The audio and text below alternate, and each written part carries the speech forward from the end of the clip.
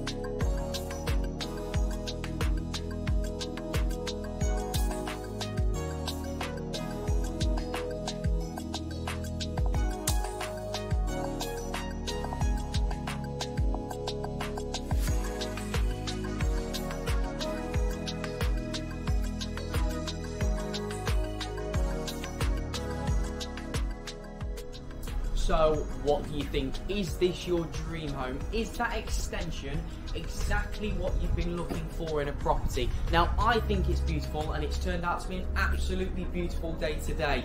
Now, give us a call on the following details. I'm going to go finish my cup of tea while you do that. I know I'm not going to see you in the next one, I'm just going to buy this one.